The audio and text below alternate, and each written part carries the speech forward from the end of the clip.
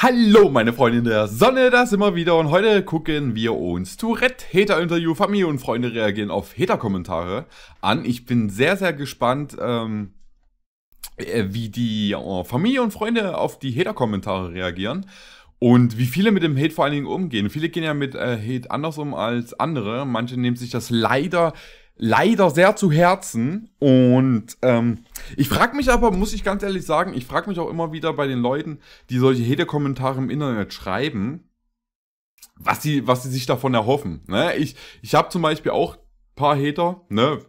Kann ich mit leben, vollkommen in Ordnung. Dann kommen so, Leu äh, Leute, lösch dich. Du bist scheiße, sieht scheiße aus, lösch dich. So. Ähm, dann frage ich mich aber immer so, ja, genau. Auf dich habe ich gewartet. Ich mache nur meine ganzen Videos, mein ganzes Leben habe ich nur auf dich ausgerichtet. Und wenn du jetzt schreibst, lösche ich, werde ich sofort, klar, klar, ich werde mich sofort löschen, ich werde alles machen für dich. Ich werde, ähm, Wohnung kündigen, am besten noch hier ähm, Arbeit, Job kündigen, ich werde mich aus dem Internet löschen, nur weil du, nur, ich habe nur alle Videos für dich gemacht. Ne? Und ich spreche da ganz bestimmte Hater an bei mir auf dem, äh, auf dem Kanal. Was ich noch geiler finde, ähm, die Hater sind ja auch ähm, sehr kreativ, ne? Also es kommt äh, außer Lösch, es kommen manchmal auch noch andere Sachen. Was ich aber immer sehr schön finde, es gibt Hater, die kommentieren dann immer unter mehreren Videos und die gucken sich aber das ganze Video immer an. Also, es gibt dann wirklich Leute, die gucken sich dann wirklich so 10 Minuten an oder wirklich das ganze Video an, mehrere Videos von dir. Und da frage ich mich auch, okay, du guckst dir jeden Tag vier, fünf Videos an, kommentierst jeden Tag einmal mindestens. Die Frage, was hast du davon? Also, ich scheine ja wohl für ihn sehr interessant zu sein. Also, danke, ne? Vielen Dank, ne? Dass, dass ich äh, für dich eine äh, interessante Person äh, bin. Ich, ähm, ja, versuche mich da auch immer, ähm, ja, ich versuche dann immer mit solchen Leuten auch in, in, im äh, Real Life, sage ich mal, zu argumentieren, ne? Ich versuche mich dann auch äh, sachlich zu artikulieren und äh, versuche dann Argumente aufzubauen und dann sind sie meistens nach einer kurzen Zeit still. So, mal gucken, wie die anderen drauf reagieren. Du Jeder bist Mensch ist der halt ein bisschen. So geil bist du gar nicht, du Ich bin keine. ich bin keine Muschi. Nein. Nein! Ventin aus dem Quickie-Markt. Hey Leute und herzlich willkommen zu einem neuen Video auf unserem YouTube-Kanal. Jan und ich haben heute mal ein etwas ernsteres Thema vorbereitet. Ihr kennt es ja schon von einem anderen Format von uns, wo nur wir auf Hater-Kommentare Oh, reagiert der haben. Blick ganz Wir Zeit von Jan. Wir probieren es jetzt einfach mal aus und haben einige unserer Tötet Freunde dich. gefragt, ob sie nicht Heute auch mal Lust auf einige Kommentare zu reagieren, die sie bekommen haben, um vielleicht auch mal so eine andere Sichtweise mit reinzubringen, wie andere Leute mit Hate im Internet und äh, umgehen und vor allem auch reagieren. Wir wünschen euch sehr viel Spaß bei dem Video. Dankeschön. Hallo, ich bin die Tina und ich bin die Mama vom Tim. Hallo, Ich finde Mama. Tina total sympathisch, aber ich bin immer noch Team Marion. Man kann ja beide Ja, sein. jeder hat so seine. Ich bin auch Team Marion. Ja, Die ist halt wenigstens nicht voll. Das stimmt. Nicht. Hi, ich bin Lisa. Ich war auch schon mal auf diesem Kanal. Ich glaube auch in einem Schulvideo und ich freue mich heute sehr hier zu sein. sein. Die ist voll hübsch. Kannst nichts. Geh dich vergraben. Also erstmal, der Kommentar stimmt erstmal gar nicht, ne? Weg mit dem Kommentar, der ist finito. Und, und, und jetzt wieder so, so ein Kommentar, da frage ich mich so, jo, was erwartet der jetzt ähm, mit dem Kommentar? So, weil erwartet er jetzt auf eine Reaktion, denkt er so, jo, ich hab's ja richtig gegeben, die wird ihr ganzes Leben jetzt ändern, die wird sich jetzt hassen. Was, erwart was erwarten die Leute? Übrigens, kleiner Fun Fact, ähm, ist ja immer schön, wenn man dann auf solche Hater mal auf, auf, auf den ähm, Account geht, gerade auch auf Twitter, und die dann ihr Account mit äh, Instagram oder sowas verbunden haben und dann man sieht, dass so kleine Knöpfe sind, so 13-Jährige, die, weiß ich nicht, von der Mutter zu wenig in die Fresse bekommen haben, weil wenn ich der Vater wäre, ich würde, würde mein Sohn, würde mein Sohn einmal so im Internet irgendwas sagen oder mit Menschen respektlos umgehen. Ich würde den windelweich prügeln und mindestens 10 Jahre im Keller einsperren. Mindestens. Das könnte ein Grund sein, wieso ich keine Kinder habe. Könnte. Muss aber nicht. Ja. Böse Smileys. Und einer davon ist ein Kackhaufen. Das ist ganz wichtig. Einer aus dem Kackhaufen. Das kriege ich tatsächlich relativ oft, aber das ist halt eher so, das nimmt man gar nicht so ernst wie so die anderen Kommentare, weil das halt nicht so angreifend ist, halt einfach nur beleidigungsmäßig, aber wenn der das so sieht, soll das mir schicken, ich lache darüber. Aber, aber ich habe immer so das Gefühl, dass die Menschen, ähm, die so schreiben, hier, ihr, ihr, ihr Selbstbild vielleicht ein bisschen aufpushen wollen, weil sie vielleicht selber nicht so äh, von der Welt wahrgenommen werden. Ähm, ich glaube, solche Menschen haben kein Selbstwertge äh, Selbstwertgefühl, ne? Die fühlen sich scheiße, die fühlen sich selber, äh, sagen so ein bisschen Dreck, ja gut, dann kann ich ja andere jetzt auch runterbuttern. Ja. Hallo, ich bin die Leonie. Hallo und Leonie, ich bin kenne der Jan Mutti- und Tim schon etwas länger. Und vielen Dank, dass ich auf dem, in dem Video dabei sein darf. Leonie, du bist dumm. Also ich habe Abitur. Geiler Konter. Ja, ich bin der Quentin, äh, ich bin Der 22 Quentin. Jahre alt, komme aus Bonn. Ein paar von euch kennen mich vielleicht noch aus dem ersten Schulvideo. Ja, und die beiden kenne ich schon seit Schulzeiten, seit der 8. Klasse, also ich glaube mittlerweile schon seit acht Jahren tatsächlich. Du oh, Opfer. vor der. Perfekt. Also ich weiß jetzt nicht, wie man auf Opfer kommt. Also, ähm, ja, habe ich jetzt aber auch, wenn du das so siehst, von mir aus, aber ich finde es jetzt nicht. Ich auch nicht. Oh, Dankeschön. Übrigens, ich gehe ja mit ähm, nach der Arbeit mit, ähm, so mit ein paar Kollegen, die ähm, ja kurz in der Kiste liegen. Also kurz davor sind in der Kiste zu. Nein, kurz vor der Rente. Also die, die überspringen die Rente, gehen direkt in die Kiste. Nein, war ein Spaß. Also, äh, kleiner Späßchen. Zwischendurch. Und äh, mit denen bin ich ja öfters jetzt nach Arbeit mal, ähm, ne, man ist so unterwegs und ähm, was mir aufgefallen ist, gerade so die jüngere Jugend, so wenn es immer später wird, in der Woche, so wenn die mal zu viel getrunken haben, so dann, wir hören auch manchmal so Sprüche, ne? Und ähm, da kriegt man so Sprüche ab, du Opfer, äh, du Punkt, Punkt, Punkt. Und hat mir übrigens vor einer Woche, hat einer zu mir Opfer gesagt und da habe ich so gesagt, nee, siehst du irgendwo, dass ich hier blute? Siehst du, dass ich hier Opfer von einer Straftat bin? Nee, also bin ich kein Opfer. Verpiss dich. So. Da hat er dann nichts mehr gesagt. Ähm, aber ich, hab, ich reagiere auch manchmal anders, weil ich bin da äh, sehr weltoffen, was sowas angeht. Ich gehe auch gerne zu solchen Menschen hin und hab, äh, so, "Äh, wie nochmal? Es war gerade Wind. Kannst du es nochmal wiederholen? Ich habe dich akustisch jetzt mitbekommen. Und dann ist immer ganz cool die Reaktion von solchen Leuten so, "Äh, ich, ich habe nichts gesagt, also gar nichts. Tut, tut, tut, tut mir leid. Ne? Das sind dann immer so die größten Helden. Wie würdest du kontern, wenn dich jemand auf der Straße als Opfer beleidigt? Ohne Witz könnte Sagen ich wir nicht. es selber und dann anspucken. Und vor allem noch die Maske runterziehen. Genau so. Ich würde es tatsächlich ignorieren, also ich finde, man sollte auf sowas dann auch nicht direkt eingehen dann in der Situation. Mein Name ist Tim Lehmann, ich bin Wer ist denn das? 21 Jahre alt, komme aus Bonn und betreibe mit Jan zusammen den Kanal Gewitter im Kopf. Und das? jetzt bin ich hier und nicht. nehme dieses Video auf und reagiere bestimmt. auf Hate-Kommentare, die Jan rausgesucht hat. Movember gut und schön, aber türkische Mädchen haben mehr Bartwuchs als Tim. Ja, also man muss sagen, ich habe wirklich keinen krassen Bartwuchs. Ich wäre froh, wenn ich ein bisschen was von Jan abkriegen würde, ehrlich gesagt, weil Ey, dann würde sei- mein Bart vielleicht Tim, sei wirklich froh, dass du. Ich mag ja meinen Bart und ich, ich kann ohne meinen Bart nicht mehr, ne? Aber ungelogen, vielleicht kennen das ja ein paar Männer, schreibt das mal bitte äh, unten in die Kommentare rein. Ich bin leider äh, in der Lage, in der misseligen Lage, dass ich jeden Tag, ich muss mich jeden Tag, jeden Tag rasieren. Und jede Woche muss ich hier unten äh, mit der Schere rangehen, weil ich sonst nach einem Monat so aussehen würde. Ähm, das ist nie schön. Das macht auch keinen Spaß, jeden Tag immer so. Oh, das war mein, das war mein Ohr. Okay. Oh, das war mein Auge. Nee, es ist echt nervig. vielleicht doch etwas sehen, ich weiß nicht. Ah doch, in der Spiegelung erkennt man es tatsächlich ein bisschen.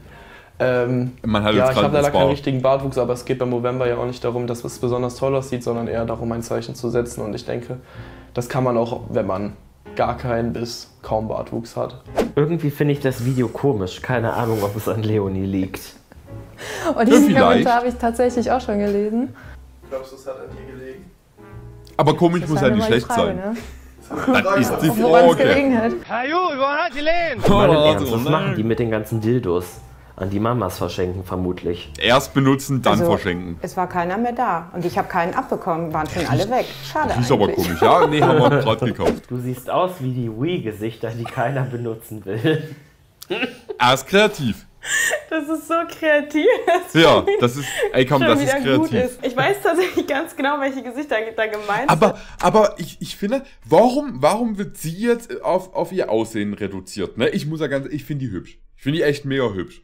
Ähm, sind das denn dann immer so, äh, Warte mal, war, der, der Name ist ja zensiert, ne? Sind das dann so Mädels, die, die selber, weiß ich nicht, selber sich nie attraktiv finden und dann das sowas schreiben müssen? So, warum wird die auf ihr Aussehen die ganze Zeit reduziert? So, die sieht sehr gut aus. Punkt. Da will ich auch nicht mal weiterreden. Punkt. Da setzen wir einen Punkt. Aus. Vorbei. Aber mein Mi, also so hießen die Dinger, das war tatsächlich immer sehr schön. Du bist der Wasserkopf. Das ist auch eines meiner meist ähm, kommentiertesten Dinge, eigentlich so Mondgesicht oder so. Oder boah, hast du einen großen Kopf. Ja. Wie der Jan der Leonie einfach auf den Hintern haut. Quentins Gesicht sieht dabei aus wie ein Kugelfisch. Also ich finde jetzt nicht, dass mein Gesicht aussieht wie ein Kugelfisch, ne? Also vielleicht, wenn ich lache, dann ist es vielleicht ein bisschen dicker, aber ich würde jetzt nicht sagen, dass es dann aussieht wie ein Kugelfisch. Das sehe ich anders. Sorry, war einfach nur cringe. Ja, also das sage ich ja selber zu mir, muss man nur einmal auf meinen TikTok-Account gehen, dann kann man sich schon gut wegcringen. Ja, das finde ich auch. genau. Das Satanskind Tim von Gewitternkopf mit der freimaurerischen Ein-Auge-Geste 666. Und dazu ein paar nette Bilder von ihm. Jan Echt und ich sind jetzt? ja, wie alle sagen, beide vom. Also mittlerweile ich anscheinend ja auch schon vom Teufel besessen. Ja, ich denke, jeder, der so Warte mal, nee, nee, nee, du möchtest bestimmt nicht sagen, warte mal, ich denke, jeder, der normal denkend ist, weiß, was los ist oder so. Irgendwas so will das sagen. Nee, das, das, nee, darauf gehe ich gar nicht ein. Wir bleiben bei dem Punkt, sind beide besessen. Tim ist jetzt auch besessen, Punkt. Da möchte ich jetzt kein Wort mehr von dir und Tim. Ihr seid beide besessen, Punkt. halbwegs bei Verstand ist, müsste bewusst, also sich bewusst sein, dass das Bullshit ist. So. Bewusstsein dass Und ihr besessen Es seid. da leider nicht für diese Krankheit nicht so leichte Erklärungen für gibt, wie zum Beispiel, dass Jan einfach vom Teufel besessen ist. Warum bin ich jetzt auch vom Teufel besessen? Ich verstehe es nicht. Habe ich irgendwas gemacht? Nur weil ich einmal so gemacht habe, oder was? Ja, das reicht. Okay, also ist quasi jeder, der einmal so macht, vom Teufel Was ist eigentlich mit dem Äh, Monokelträger? schade, dass Leonie keine Rothaarige 50 ist, sonst hätte Tim sie schon längst aufgegabelt. Vorlauf, die Zwölf. Ja, nee. Nee, keine roten Haare für mich. Wenn das Te Tina Tequila ist, dann verstehe ich Tim, wenn er seine Mom geil findet. Oh, danke schön. Was sagst du Ist doch toll, wenn jemand seine Mutter geil findet. Ja, geil in einem anderen, ja, in einem anderen Bezug, glaube ich mal. Ne? Also sonst fände ich es schon merkwürdig. Guck dazu bitte auf dem Kanal von Evai vorbei. Du bist aber echt eine Muschi. Da weiß ich jetzt nicht drauf, wie, ich weiß jetzt nicht, wie ich darauf reagieren soll. Also, da bräuchte Du keine Best. ich bin Du bist keine. keine, Meine du Muschi. bist keine Muschi. Nein. So geil bist du gar nicht, du So geil bist du gar nicht, du. Ja. Äh, also er muss es ja nicht finden. Das juckt mich aber ziemlich wenig. Ja, So geil ja das, das ist halt wie, das ist halt, die Gisela, die freut sich, dass sie sowas abspielen kann. So, wa, was hat er jetzt davon? Dass er so, dass er so eine Sprachmemo ähm, losgeschickt hat. So. Äh, wird bei mir hier rein, dann nochmal durch den ganzen Körper, nach einer Stunde hier raus. So, bringt doch nichts, ja, super, ja, dann sieh, sieh das halt anders, ne? Gar nicht, du Bitch. Wir können ja mal eine Sprachnachricht zurückmachen. Mal sehen, was er dann sagt. Tim, Hallo. schreib mal nicht immer wie ein Mädchen. Was soll ich anderes machen, wenn ich eine Möhre auf den Kopf gehauen kriege und die ganze Zeit gefüttert werde und mein Hund parallel noch in den Schoß springt und mir wehtut? Dazu möchte ich auch mal ganz kurz was sagen. Ähm, ihr, ihr wisst, glaube einfach auch gar nicht, wie das ist. Ne? Ihr müsst euch einfach mal vorstellen, ihr hättet einen Freund, äh, der Tourette hat und ähm, erstmal, das ist eine Leistung, mit ihm zusammen zu bleiben, weil die meisten würden dann sagen, oh nee, es ist mir zu anstrengend, ich kann die Freundschaft mit ihm äh, halten. Dann das zweite ist, was soll, was soll Tim in der ähm, Situation machen? Wenn er sich, was soll er machen? Soll, soll er den äh, Jan schlagen oder was? Soll, soll er sich wehren? Weil der Jan kann ja in dem Moment nichts dafür. So, da, da, da nimmt man das so lieber mit Humor, macht ein Späßchen draus und, und lässt es in Anführungszeichen über sich ergehen. So, ich finde das voll okay, wie, wie, wie, wie Tim da drauf reagiert. Der, der reagiert halt mit viel Humor drauf. Man- Bringt doch nichts, wenn man dann so sagt, Jan, das war scheiße von dir. Nee, ich hasse dich jetzt. Jan kann ja nichts für seine Ticks. Das ist nicht anders machbar. Irgendwann tut es halt einfach weh. Also ich würde mal gerne wissen, wie du, derjenige, der das Kommentar geschrieben hat, damit umgehen würde. Das würde mich mal interessieren. Der würde Leute heulen. kritisieren teilweise so den Umgang, den ich mit dem Tourette-Syndrom von Young habe, obwohl sie sich selber gar nicht in die Situation hineinversetzen können. Leonie war damals Leo und hatte eine Affäre mit Jan. Da lacht Keine Ahnung, was ich sein. dazu sagen soll. Euer Kameramann ist der erste, von dem ich höre, dass er auch Quentin heißt, Louis. Also, äh, ja, irgendwie sehe ich das oft in den Kommentaren, dass Leute dann irgendwie schreiben dann, oh, ich heiße auch Quentin oder so, weil der Name ist jetzt, glaube ich, auch nicht wirklich so, kommt nicht so häufig vor, aber Der ist doch schon komisch. das finde ich jetzt nicht. Vor allem, ich, ich sehe es auch gern, wenn Leute dann meinen Namen mit äh, KW schreiben, obwohl ich auch erstmal, wo ich auch nicht weiß, wie man darauf kommt. Quentin aus dem Quickie-Markt. genau. Ich frage Andrea, ob du da gezeugt wurdest. Wie voll Tims Mama ist. Hashtag Tina Tequila Rocks. Wann? Wann soll ich voll gewesen sein? Ähm, in dem Video, wo wir eure Köpfe, in, in, wo der Tim mein und dein Da war sie voll. Da war sie voll mit Wasser. Ne, weil Kopf rein, ins Wasser rein tunken, da ist sie voll mit Wasser. Ist halt so. Ne? Also hat der Kommentarschreiber ja schon recht. Sie war voll. ins Wasser gedrückt hat. Ja, stimmt. Ich war voll mit Wasser. Danke. mit sonst Danke. gar nichts. Like, wer sie noch unsympathisch findet. Zwei Likes. Zwei Likes. Von mir kommt das dritte. Wenn es nur zwei sind, ist okay. Ähm, aber ja, da, also mit Das ist wenn fast die mich ganze zwei Welt. Leute nicht mögen, komme ich klar. Es gibt safe noch mehr Leute, die mich nicht mögen, aber also, Also ich sag mal so, wenn, wenn, wenn ich hier so ähm, Straßen, wie nennt man das, Straßenreporter, Straßenquizzes da angucke hier auf, auf YouTube und da welche Antworten, äh, ja, Deutschland hat 6000 Einwohner. Für solche Leute sind zwei Likes extrem viel, wenn in ganz Deutschland nur 6000 leben, ne? So, die anderen äh, 80 Millionen ja, sind halt sind, sind halt tot, ne? Sind halt weg. Bilden wir uns alle nur ein. extrem viel Aufmerksamkeit auf sich. Er tut so, als würde er sich nicht wehren können und sowas und übertreibt voll. Also es bringt ja nichts gegen die Ticks irgendwie anzukämpfen oder da irgendwas gegen zu machen, weil im Endeffekt macht es das Ganze sowieso noch schlimmer oder die werden halt umgeleitet auf irgendwas, was genauso kacke ist. Und für Jan ist es ja auch nicht toll, wenn er die ganze Zeit den Tick Richtig. unterdrücken muss, beziehungsweise dann sich nicht auch mal so gehen lassen kann. Deswegen denke ich, wäre es nicht hilfreich, wenn ich die ganze Zeit versuche, da find's gegen cool, wie- anzukämpfen, wie- wie Tim weil es das Ganze eigentlich nur noch schlimmer machen würde. Also das würde mir nichts bringen und Jan halt auch nicht. Ich kannte Leonie schon von den anderen YouTubern, mit, dem sie, mit denen sie Pranks gemacht hat. Ja, mit mir. Jeden Tag Leonie, macht mit sie mit welchen mir Kanälen hast du Pranks. noch kooperiert? Jeden Tag. Tja, Wir machen jeden Tag Pranks. jetzt nicht. Keine Ahnung, vielleicht sehe ich irgendjemandem ähnlich, aber tatsächlich bin ich nur bei euch auf dem Kanal zu sehen. Bis jetzt. Benjamin Maverick Holmes fragt, habe ich richtig gehört, heißt euer Kameramann Quentin, mein Mops heißt auch Quentin. Das ist doch der Kameramann. Also dazu kann ich auf jeden Fall schon mal sagen, euer Mops, hat auf jeden Fall einen coolen Namen Du bekommen. bist Oh. der Mops. Das glaube ich eher weniger. Alter, trag doch bitte nicht baufrei. Siehst du selber nicht, dass du dick bist? Äh, dazu habe ich damals sogar voll das Statement gemacht. Das habe ich damals mich voll getriggert, dieses, äh, dieses Kommentar. Aber denke ich mir so, ich trage, was ich will. Und in dem Video, das ist so geil, da habe ich nicht mal bauchfrei getragen. Das fand ich ja auch so witzig. Ich finde das voll, ich weiß nicht wieso, aber ich finde das, klingt total bescheuert, ich weiß. Ich finde das aber süß, die hat hier so eine ganz, ganz, ich weiß nicht wieso, ich finde das voll süß beim Ich habe voll das Lächeln. Statement gemacht. Das habe ich damals mich voll getriggert, dieses, äh, Und ja, ich weiß, ich reduziere sie gerade auf, äh, auf ihr Aussehen äh, runter. Ist halt, ich finde sie halt hübsch. Ähm, aber ich finde das voll süß, wenn sie lächelt, weil die kleine Lücke. Finde ich absolut geil. Also süß. F- f- Gefällt mir. Ich weiß nicht wieso. äh, dieses Kommentar. Aber Aber das Lächeln mir irgendwie so, niedlich. Ich trage, was ich will. Und in dem Video, das ist so geil, da habe ich nicht mal bauchfrei getragen. Das fand ich ja auch so witzig. Du bist das Echo. War diese Tina nicht schon öfters in Hartz-IV-Sendungen zu sehen? Bestimmt. Da bin ich auch jeden. Tag. Jeden? Tag. Harz aber herzlich oder wie heißt das? Nein, war ich Gibt's noch doch gar nie. nicht, oder? Als ob es, als ob es eine, sehr, eine Sendung gibt, die Harz oder hier oben. Sorry, aber äh, äh, äh, ich glaube hier äh, gleich hier, ne? Ich bin hier gleich aber auch herzlich. Gut, mein Inter Internet geht nie, Handy geht nie. Also, ja. Was gibt's denn eigentlich noch hier? Hier, hier, irgendwas mit Brennpunkt hier. Familienbrennpunkt. Und dann gibt's ja noch andere Sachen. Da arbeite ich auch jeden Tag. Jeden. Witzigerweise, kleiner äh, Fun Fact, äh, es hat mal eine damalige Freundin ähm, da mal mitgemacht. Äh, war eine Woche in Köln für den Dreh.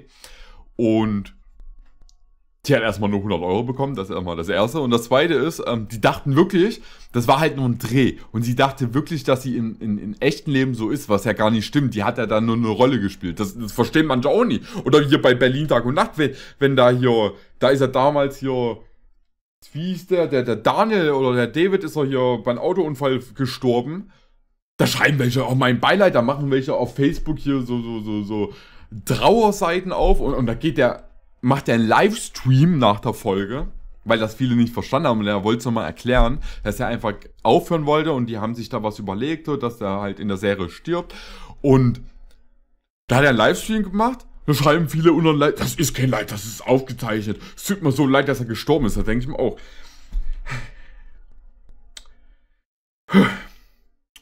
Nee. Menschen gibt's. Die gibt's gar nicht, Alles klar, gibt's doch. die sieht auch überall auf YouTube, die gammelt so nach Fame. Deswegen bin ich ja auch hier heute im Video. So, also Leute, nehmt euch das ganze Thema, nehmt es euch nicht zu Herzen, wenn irgendwelche Leute, die euch nicht wirklich kennen oder sich kein richtiges Urteil über euch erlauben können, irgendwelche unkreativen, dummen und stumpfsinnigen Beleidigungen schreiben. Das sollte man sich nicht zu Herzen nehmen. Wenn es mal konstruktive Kritik ist, kann man sich das durchlesen. Sollte man allerdings aber auch nicht so zu Herzen nehmen, falls es sich um eine Person handelt, die einen nicht richtig kennt. Und so, ich denke, die einzige Meinung, auf die man vielleicht hören sollte, sind wirklich die Meinung von Familie und von guten Freunden, weil das Leute sind, die euch auch richtig einschätzen können und die sich auch mit euch auskennen und wissen auch, wenn sie etwas an euch zu kritisieren haben. Wir hoffen, dass euch das Video sehr gut gefallen hat Schöne, und schöne falls ihr sowas häufiger mal bei uns sehen möchtet, könnt ihr das ja mal in den Kommentaren eure Meinung hinterlassen und äh, sagen, falls wir das häufiger mal machen sollen. Schreibt gerne mal eure Meinung in die Kommentare, wie ihr mit Hate umgeht im Internet und wie man, wie eurer Meinung mein, und wie eurer Meinung nach der beste Weg ist, mit Internet-Hate umzugehen. Oder vielleicht auch mit Beleidigungen, die man so auf der Straße erfährt, was da eure, euer Weg ist, damit umzugehen. Und ja, wir hoffen, wir sehen uns bei einem von unseren nächsten Videos wieder, Leute. Bis dahin, macht's gut. Tschüss! Ciao. Tschüssi. Ja, cooles Video. Ähm, ich finde das schön, da, ich finde das echt schön, dass alle so ein bisschen mit, ähm, mit Humor in die Sache gehen. Ich möchte aber dazu jetzt auch noch was sagen. Und für die Leute, die mir jetzt die eine Minute nicht mehr zuhören wollen, äh, ihr könnt gerne, ja, jetzt aufhören. Wäre zwar schade, aber ihr wisst, ihr wisst, ich mache hier und da mein Späßchen, ne? Ich bin, ähm, ganz lustiger Typ, aber ihr wisst auch, dass ich gerne äh, euch was vermitteln möchte. Und es wird immer, es wird immer Leute geben, die äh, mal einen dummen Spruch raushauen. Es wird auch immer Leute geben, äh, die im Internet auf dicke Eier machen und äh, in Wirklichkeit ganz klein sind. Gibt auch solche Leute gar nichts. Ähm, jeder Mensch ist auf seine Art einzigartig. Von Aussehen her, von seinem Charakter her. Jeder Mensch. Es wäre lang, es wäre doch total langweilig, wenn jeder Mensch gleich wäre. Gut, wenn jeder Mensch, äh, jeder aussehen würde wie ich, okay. Ne, außer die Frauen, die können anders aussehen, aber so, so Kerle, gut, das wäre dann, das wäre dann sehr schön. Ne? Wäre ein Traum, aber werde ich nie erreichen. Aber ne, ähm, jeder Mensch von euch ist ein, einzigartig und es gibt auch keine hässlichen Leute. Es gibt, ich höre auch immer mal wieder hier, äh, dass jemand mal rumschreit, ah, bist du eine hässliche oder bist du hässlich? So, es gibt keine hässlichen Leute. Gibt's nicht. Solche Kommentare, ich hoffe auch da draußen solche Kommentare prallen ähm, auf euch ab. Und nehmt, nehmt euch bitte solche Kommentare auch nicht zu Herzen. Das sind fremde Leute, die kennen euch nicht, die wissen nicht, was ihr vielleicht durchgemacht hat, äh, habt. Und äh, solche Menschen sind vielleicht selber ein bisschen verzweifelt, äh, die versuchen ihr Selbstwertgefühl damit ein bisschen aufzubauen, dass sie andere Leute beleidigen.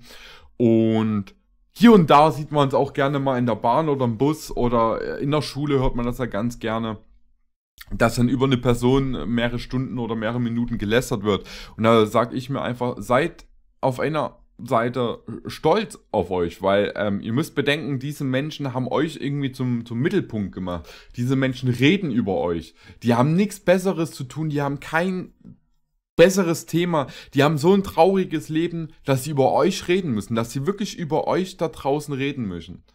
Und ähm, Scheiß auf solche Leute. Ich weiß, viele nehmen sich das extrem zu Herzen. Und es gibt eine Person, ähm, der ihr selber was beweisen müsst und die, die, auf die ihr hören sollt. Das seid ihr selber. Hört auf euch selber. Ihr müsst niemandem was beweisen. Ihr müsst euer Aussehen für niemanden ändern. Ihr müsst euer Lebensstil für niemanden ändern. wenn, wenn ihr so leben wollt und wenn ihr so aussehen wollt, dann tut es. Ihr müsst euch selber, ihr müsst euch vielleicht was beweisen. Oder ihr müsst euch wohlfühlen mit der Situation, in der, in den, in der ihr gerade lebt.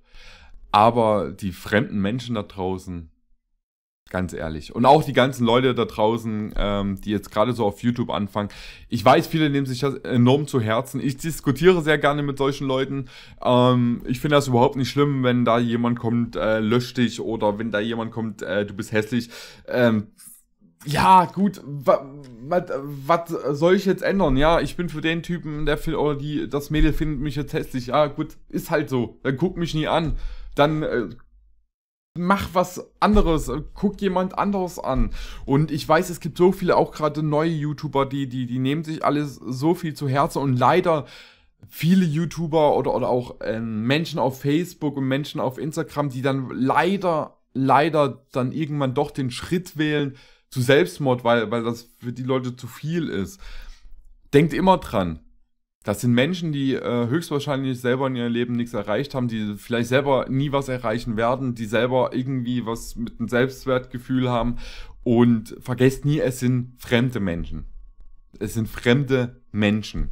Die wollen einfach nur trollen, die wollen einfach nur äh, raushauen, ihren Frust rauslassen. Und